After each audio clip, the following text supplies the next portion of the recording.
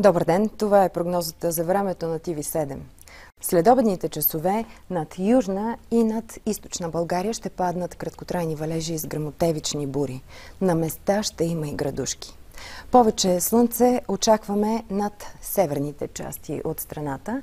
Максималните температури ще са от 25 до 30 градуса, в Видинско до 31. При вечер облаците ще намаляват. Утре от югозапад над страната ще се пренася топъл въздух и температурите ще се повишават. Ще е слънчево с временни заоблачавания и слаб дъжд над северо България. В събота ще преобладава слънчево време. Следобед над планините ще има купеста облачност и не е изключено да превали. В неделя и в понеделник ще е горещо с температури от 30 до 36 градуса.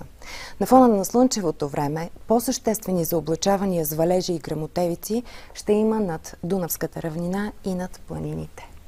Такова време ни очаква.